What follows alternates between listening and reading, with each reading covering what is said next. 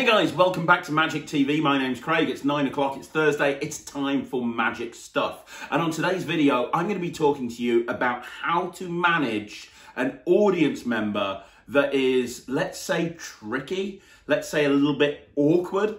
Um, you know, whether they be drunk or whether they be um, uh, just an asshole or they're a heckler. Um, you know, I get questions on this channel all the time. How do you deal with those situations? How do you deal with volatile audience members? And on today's video, I'm going to be talking to you in depth about how to do that. And I'm even going to be including some live footage of me at actual gigs where you can see how I handle this sort of stuff. Okay, so we're going to be talking about close-up uh, magic in this in this video. We're going to be talking about things from a close-up environment. Talking about things from a stage environment would be a completely different video. So we're going to be assuming that we are learning how to deal uh, with audience members that are challenging in a close-up environment. And the first thing that you need to understand is why are they doing what they're doing? Why are they being awkward to you? Uh, and there's really only a couple of different reasons. Now, the first reason is obviously alcohol can play a part in this. So if you're at a gig where people have been drinking, uh, you can be in a situation where uh, a person who would be perfectly okay normally suddenly becomes less than okay. Okay, the alcohol can play a part in this. The other time that you might have this, especially if you're a male magician, is if you go up to a table and you've kind of got that alpha male there. And what I mean by that is if you've got like a, a table of like 10 people and there's guys and there's girls, you know, there might be a person on that table that, that's kind of the alpha male of the group and they're the one that everybody, you know, they're the one that's proud of being the life and soul of the party and they're the joker and they're the one that's making all of the jokes. And then you you, as a professional entertainer, has just come over and you're like, hey, let me show you some magic. And you, you know, you, you're doing what you do. You may be doing some comedy, you're doing some jokes, you're, you know, you're performing some magic. They can feel a little bit threatened. And how that can manifest itself is it can manifest it into, into them being an asshole to you because they're trying to establish uh, you know, establish that they are the man in this little group here. So sometimes you will have kind of an alpha male that will, that will behave this way. The other time is if you're at a gig and, and you've just got somebody who is desperate to figure out how the trick works, you know, uh, and and that's that that can happen sometimes, you know. You, as um, you know, there's different people that watch magic for different reasons. Some people watch it just to love it. Uh, some people just you know, there's so many different reasons, but some people they have a burning desire to try and figure out how the trick works. I've been booked in the past for uh, you know conferences where there's engineers and scientists that are very analytical in their thinking. And a lot of the time when they're watching magic, they're trying to analyze what's going on because that's kind of how their brain works. So, you know, you might have somebody who is just desperate to try and figure it out and they're constantly saying, hang on, is this the case? Is this the case? Is this the case? Um, and then and then you've just got people that are just plain out and out assholes you know they're just they're just assholes they're just trying to fuck with you. You know, you do get people like that as well. A lot of the time, when people are actually not being the nicest of spectators. It's because they want to be the center of attention and they don't want that attention taken away from them. And the best way to deal with that sort of situation is by putting all the attention on them, uh, doing a trick where they are the star of the show. You know, doing a trick where they do the magic. And I'll do that an awful lot. You know, if I go up to a table and I can tell straight away that there's an alpha male, I'll, I'll do a quick opening routine, but I'll say, look, I need an assistant. I need someone to help me. You right there, sir, you look like you're the sort of person that can absolutely pull this off. I'm going to make you look like a million dollars here. I absolutely promise you. And I'll do a routine where they are actually the star of the show. A perfect example of that is a routine I put out on my flipped out DVD many, many years ago called Empowerment. And I call it Empowerment because they do all of the, they do the trick. You know, it's, it's a coins across, but they're the ones that do the vanish of the coins. There's four coins and they vanish the coins coins one at a time. And I make them out to be the absolute star of the show.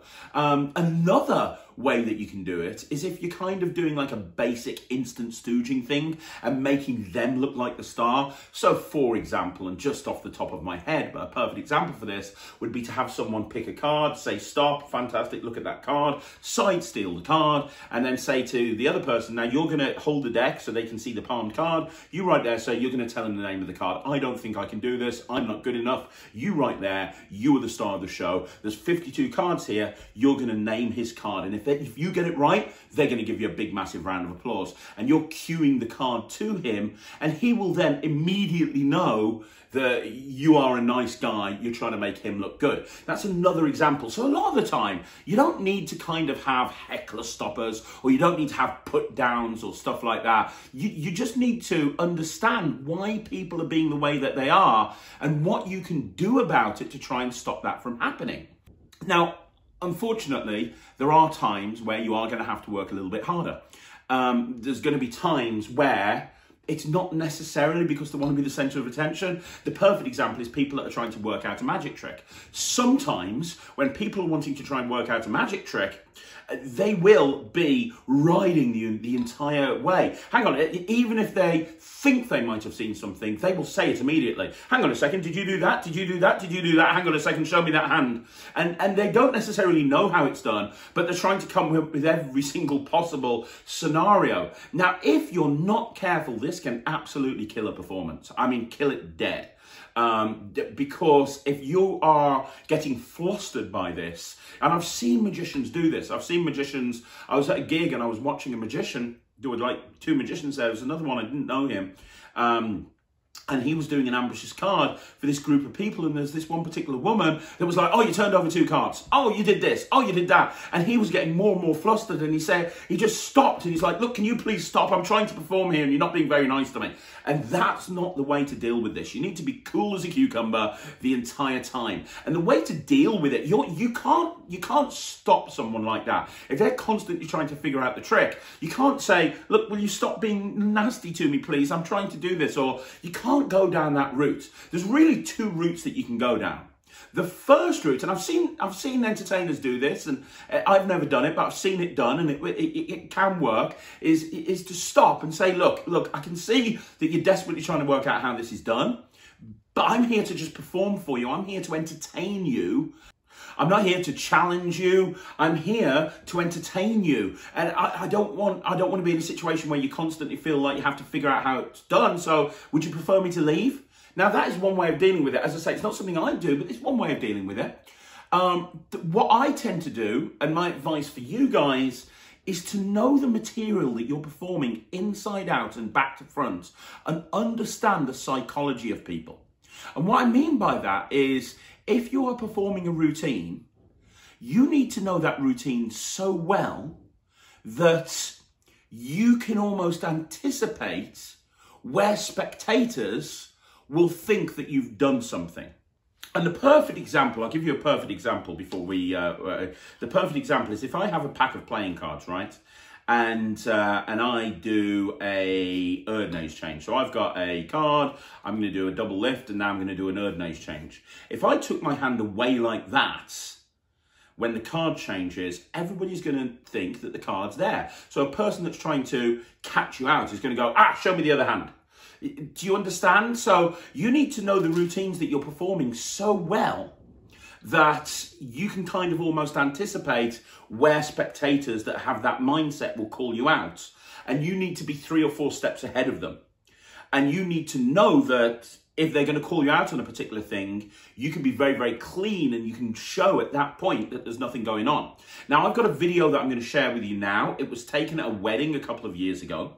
And it's me performing outside at a wedding to a particular woman.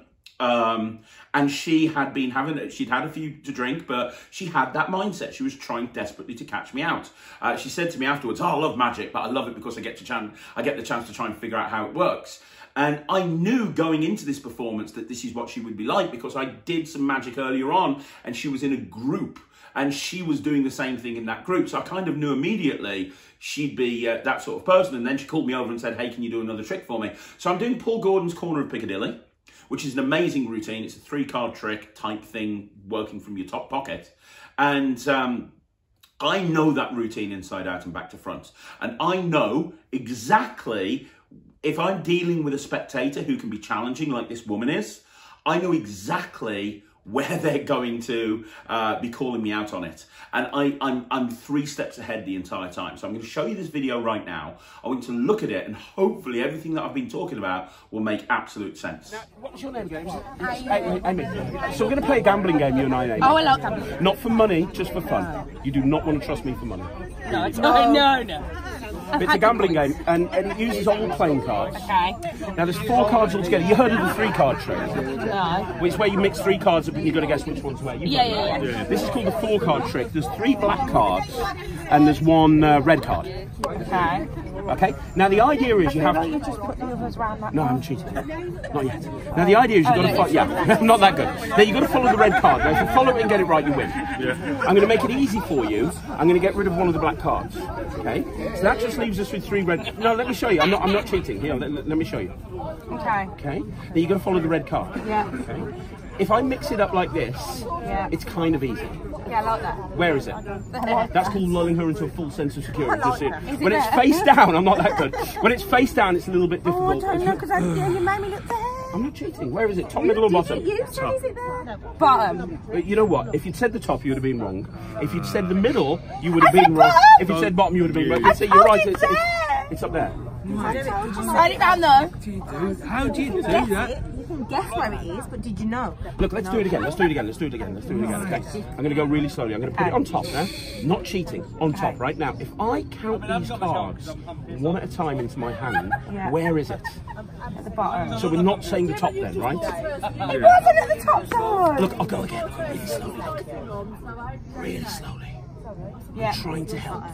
Genuinely trying to help. Where is it? Give me a clue. Where is it? Bottom. So not the top then. No, no, it means at the bottom. Look, look, look, no. look, look, look, Turn- look, turn look, the look, bottom I'll over, put the, turn que- the look, bottom let me just put the queen up here for a minute. No, because you've just done something else. Hold on, let me turn it around that way. Look, Okay. look, look, look, look. I'm gonna They're go. all going to be queens I'm now. not. Come on, who do you think I am, Dynamo? Look, I'm gonna go. Re- I'm gonna let you see everything. Three black cards, one queen. Now I can't be any fairer than this. this is fair. Put that. I'm gonna go no, really slowly. Watch it. It's gonna watch. go to the bottom. Right. Wait, Where wait. is it? Can you do that again? I'm gonna take it back to the top Okay. and put it back to the bottom Okay, again. yeah. Stand up. I just need to check. I'm not that good. Okay. Oh, wow. My brain just. Look, here's the thing, it's a switch. That's how it works. You see, when you see me put it on the bottom, and you saw me put it on the bottom when I do that, did you see that move? That's the switch, that's when it goes to the top. The ah. switch! Watch, watch! Hold your hand up! No, no, no, no, no, let me show you the switch. Look, look, look. It looks like this, watch. If I go and put it in your hand when I do that, did you see the switch? No. That's the switch. So look, look, look, look, look, look, look, look. Earlier on, right at the very beginning, you said three queens. And that's Oh, fuck off, what mate. Stop it. you've got. I can't. No. Yes! Hopefully, from watching that video, you can see exactly what I'm talking about. She was a very challenging spectator. She was the sort of person that um, uh, that she was the sort of person that was um, what's the word I'm looking for, uh, trying to catch me out the entire time. And you can see how I dealt with it. And afterwards, you know, she she was blown away. You know, the end result is you are a magician. You are being hired to do magic. You are being hired to entertain people, and you need to make sure ultimately that that person has had a good time. And even though she was being challenging throughout, she ended up having a good time. I'm going to play that video one more time, and I'm going to do a commentary over it so that you can kind of see my thought process as I was performing this routine for her. Right. So first of all, you hear the hook line, which drags them in. Do you like uh, Do you like gambling? Let me show you a gambling game. Now I'm going to be focused, and you'll see this. I'm going to be focused on the main person I'm performing for, but I am going to be acknowledging the other two people as well. But I, I when I'm performing this sort of routine, I kind of try to make it more of a one-on-one type of situation. Now the first move right here, the Elmsley count, um, uh, when I'm when I'm showing everything, immediately you can just tell that she's she's going to be a pain because she just calls me out even though I've done nothing, uh, which is why I then turn it face down and show it her. And that's one of the examples that I'm talking about. I couldn't, I knew I couldn't show it face up, but turning it face down I knew would make her happy. And you see the same thing again there. You see that she's calling me out at this point. So that's when I turn them face up and show them to her. Now, at the very, very beginning, I want to be as clean as I can. And uh, in order for her to kind of be lulled into this whole thing and to start almost trusting me. Now, you see there that she actually missed that switch, But I knew I didn't want to go back and do it again because she's the sort of person that would catch a Monty switch like that, which is why I showed them face down and I went straight into the first revelation. Now, you can see over and over again that she's going to be sort of the sort of spectator that's going to get very, very frustrated about this. So then we go into the next phase. Now, notice I'm bringing her in. I'm coming closer to her. I'm talking quieter. I'm trying, you know, as if I'm almost like trying to let her see how it works. And you can see with each phase, she's getting more and more annoyed um, but in a good way. It's not like a bad annoyance, it's a good annoyance. So I'm doing double lifts and I'm doing triple lifts right here, but she's not seeing anything. She is the sort of person that would try to catch everything, but it's how you frame it. You know, if, if you frame it in such a way that um, she, she's convinced that she knows what's going on, something like this, a frustration count will fly straight past her. Now, did you notice when I put the card in my top pocket and she was like, oh, hang on a second, you know, that's not the card. And I said, let me turn it round. Well, the nice thing about that is that's what I had to do at that point anyway, but I can make out that I'm turning it around because she wanted me to.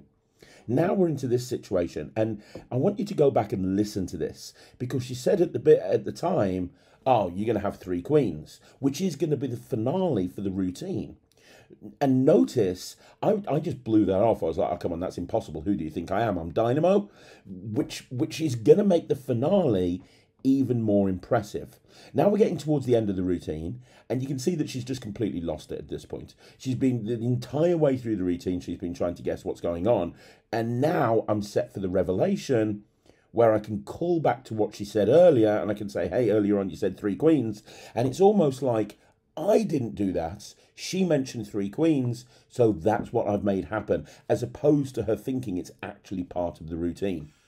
Right, now, now we've looked at that, let's look at one more scenario, which is when people are drunk when people are just drunk or they've had quite a lot to drink, or you're in a kind of environment where um, they're kind of wanting to one up each other. And uh, a perfect example of this is a nightclub. Um, or a you know student union or something like that, where people have had a lot to drink and they can be very challenging. Um, we're going to look at another video right now, and the video we're going to look at was shot at a property training day that I was hired to go and do. And they'd spent all day learning about property and then they had a free bar in the evening where they could, and they were encouraged to absolutely get bladdered at this free bar. And I was performing there outside kind of towards the end of my run. I was booked from 7 till 10, I think, and this was at about 9.30 outside. Everyone was drunk, and, and the group of people I was performing for, they kind of had that whole mindset of, ah, oh, they were all swearing at each other, they were slagging each other off, and I just knew going into that environment, I had to kind of match that. And that's, that's comes from my experience as a stage performer. I've spent a lot of years, probably about 10 or 15 years now, performing on stage. And when you're performing on stage, especially in holiday parks and, and comedy clubs and places like that, you can um, you can very you very quickly have to learn how to deal with hecklers and put them down. Um, and, and, this is kind of a last, uh, uh, this is a last resort for me. I don't go in full on hardcore like this every single gig that I do. But I mean, you'll see, you'll see an example of this in this routine. I actually turn around to the guy and say, will you please shut the fuck up? Now, I wouldn't do that at a wedding. you know, where everybody's outside. I wouldn't turn around to the bride and say, excuse me, will you shut the fuck up? I wouldn't turn around at a kid's party or a family event and say, will you shut the fuck up?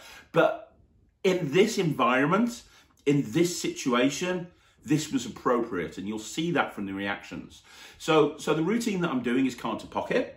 Um, which is uh, kind of, a, I've taken about three or four different people's cards to pockets and amalgamated it into one big routine. So I'm performing a card, a card to pocket routine, um, and you can see that there's this guy, this particular guy, that's trying to challenge me throughout the whole thing. He's trying to challenge me. And at the very, very beginning, you'll notice he's very vocal and he's very expressive. Um, and and you see that I I kind of put him in his place right at the very beginning, and it's important that I do that because I want to establish that I'm not one I'm not one to be fucked with. You know, when you're in a group of 10 or 15 people, it can very quickly get out of hand if you're not careful.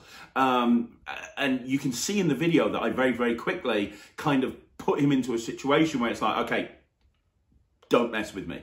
So I want you to watch this video and have a look at this performance. Um, what's your name? Just call me Donny. Donny. Yeah. Craig Donny. What's your name? I'm Craig. I just thought I said that. Craig. Craig Craig. Craig. Yeah. C for Craig. R for Raid. A for Craig. Yeah. A for A. Yeah. I for egg. Nothing in my pocket. That's, Yeah. That becomes important Yeah. later on, okay? Yeah. Um, secret pocket. I would let you feel, but I No, don't want to. thank you. Because earlier on, you were trying to bend me over. That's You okay. can ask, you can ask woman, you can ask woman to check it out for you. You're gonna you're gonna grab a number card, any card with a number on. Okay, grab a number card out. Yeah. How do I do it? Oh, yeah. Show the camera. Don't show me. Yep. I like it. I You can take this pen. You're gonna write your name on the face of the card, big letters. Okay, write your name. This is gonna really annoy you. Donny, right? Donny. Yeah, the full name Donatus. But yeah. Let's talk. Let's talk. Let's talk. Here we go. Are you ready? Check this out. Come a bit closer. I'm going to tell you what I'm going to do. The pocket I showed empty. You're going to put your card in this deck. Yeah. It's going to jump into the pocket. All right. Say stop. I'm watching you. Put it back. We learn about people like you in magic school. My king, there's an entire fucking chapter on you. Right, okay, here we go. The weird thing is when I read the script, you didn't even have a speaking role. Right, okay. I don't need a speaking role. I just sabotage. Shut the fuck up. Right, okay. From the deck into the pocket. He's helping. Are you Yeah. ready? No, he's pissing me off, right? From the whole deck- point. Is this helping? Yeah, Okay. attention grabbing, attention. Helping. Into the pocket. Are you ready? Yeah. Nothing in my hand. Yeah. When I snap my fingers, it's done. Yeah. No, seriously, it's done. Look, in my pocket, one card. One card only. It's your card, thank you. No, seriously. Call it. You don't, hang need, on. you don't need to. You know it's Go on, yours that was your card, right, Don?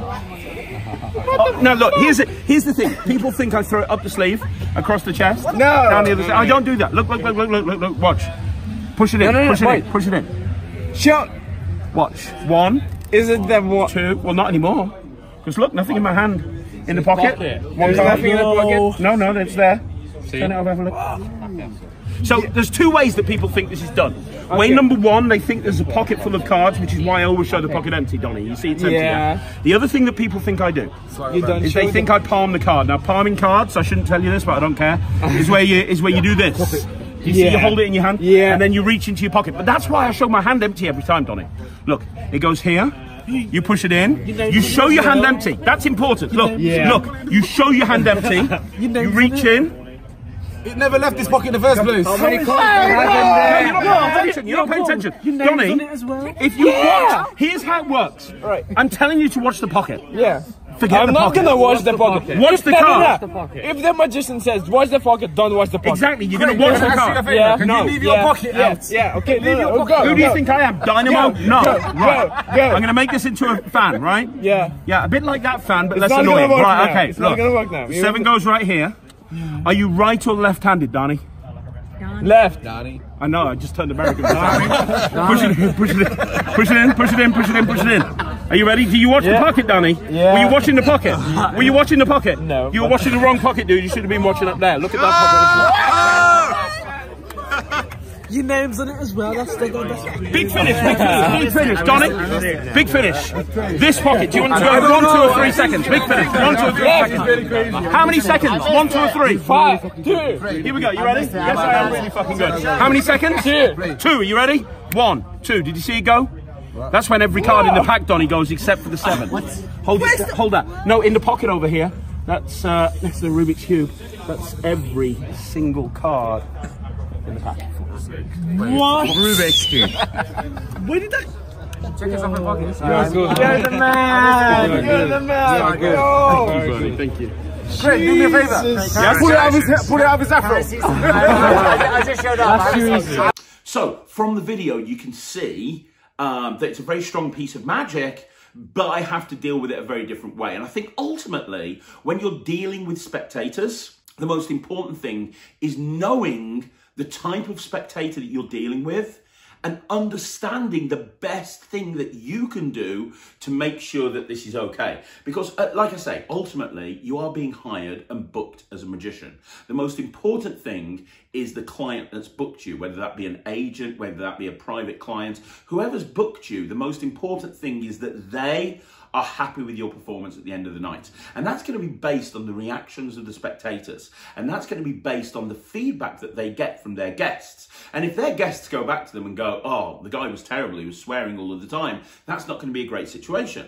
So it's knowing when to do what to do. So it's knowing, you know, like I say, perfect example at a wedding, I wouldn't have done what I did at the second clip that I showed you because it just wouldn't be appropriate. And I know it would have led to the client being unhappy. But in the situation that I was in, I knew not only would it defuse the situation and allow me to perform without being heckled, but at the same time, they would probably enjoy that style more than me going, hello, my name's Craig. I'd like you to pick a card for me, please. If you could, fantastic. Now let's do some amazing magic. It's knowing how to perform and when to perform in that environment, if that kind of makes sense.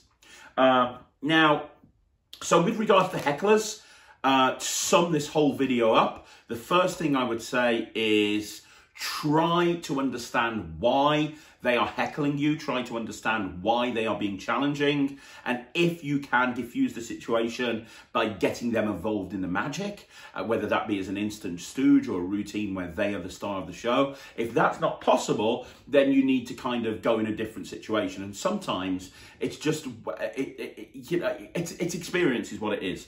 Now, I will share one last thing with you, something that I do, and I, I, I talked about the Erdnase Age change earlier on in the video, but something that I do, and I, I talked about this in a Q&A once, um, but just in case you haven't seen that, something that I do sometimes, let's say I'm in a situation where I've tried to get, there's somebody who's been really challenging. It's an alpha male. I've tried to get them involved in the act. They're not bothered. Um, they're trying to, um, um, you know, make me look stupid or whatever it may be. This is kind of what I'll do. This is my ultimate kind of trick that I do when I want to put people in their place and it works every single time.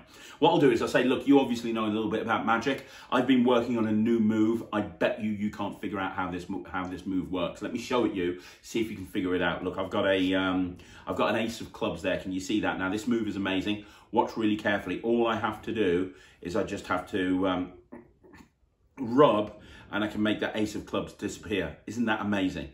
Now you do that, they will immediately think that the card's here and they will say it to you. If you frame it in this way, they'll say it's in the other hand. Now, depending on the environment and depending on the gig and depending on the people that you're performing for, you can go, what? Or you can go, sorry, I didn't hear you.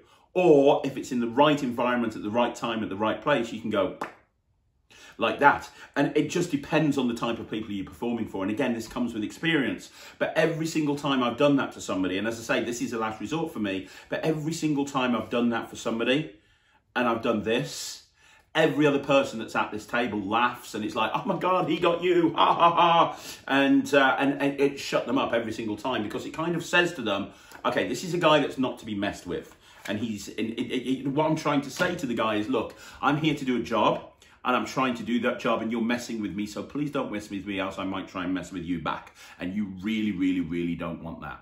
And, you know, you have to, again, it's really important to understand you have to do this right time, right place. You know, I'm not advocating challenging every single audience member. This is kind of the nuclear bomb last for me. Now, you might have something else. You know, different people might um, deal with hecklers in different ways. But for me, I try to defuse the situation in a very nice way. And if I can't defuse it in a very nice way, then I will adapt my performance and adapt the routines that I do accordingly based on the audience I'm performing for and the type of person that I'm performing for. And don't forget, if you are at a walk around gig you or you are at a close up job, you have got that ultimate option of just walking away from the table. If you're getting yourself into a situation where you're trying to do an ambitious card, for example, and every two seconds you're trying to do something and somebody's saying something or interrupting you or stuff, you can just say, look, guys, thanks very much. Have a great night. I've got to get around a lot of people. I can see that maybe this isn't the sort of thing that you want to see. So have an awesome night. Thanks very much. Bye.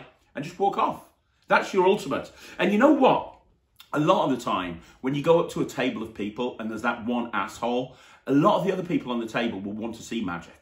And I, I remember going to, you know, I've gone, to, I, I went to a gig and um, there was a true asshole on the table and he was just being horrid, absolutely horrid terribly, terribly horrid. And uh, I tried to bring him into the performance and he wouldn't. And I had a whole bunch of tables that I had to get round. I had like two hours and I had like 40 tables or something. So I was like, hey, no problem. You don't want to see magic. And he even said when I first walked over to the table, we don't like magic. I don't want to see magic. I just said, hey, no problem. That's cool, man. Thanks very much. I hope you have a great night. Um, no problem. Cool. Take care. And then I proceeded to go to every single table that was anywhere near him anywhere near his table. And I made sure that I did such a good job that people were whooping and hollering and cheering and laughing. And I made sure that every single one of those people were absolutely losing their mind and screaming at the top of my voice, uh, at the top of their voice. And what happened is towards the end of the night, the table that he was on came over and said, look, we're really sorry about him. Can we, can we see some magic, please? Um, and and asked me to come back, which is cool. So you know, a lot of the time when you're in a situation like this, you can just beat them by being better. You know, beat them by being better. Walk away. If you're at a gig and you've got lots of people to get through, and they turn around and say we don't like magic, you don't have to look at it as a challenge. Right? Okay, I will change your mind. You can just go, okay, no problem, and then just blow everyone away that's anywhere near them. But now this is your chance to tell me what you think. Let me know in the comments down below. What's your opinion? How do you deal with hecklers? Has this information been useful? Would you like me to do a follow-up video? I want to know what you think. As I say, a lot of the videos I put together on this channel, I put them together because I genuinely want to try and help people. I don't want to try and make your performance better. So if there's something you want to see, please let me know. Other than that, subscribe to the channel. We go live every single day, as you know. So I'll be back tomorrow with another video. And, um, and yeah, thanks very much for watching. My name's Craig from Magic TV.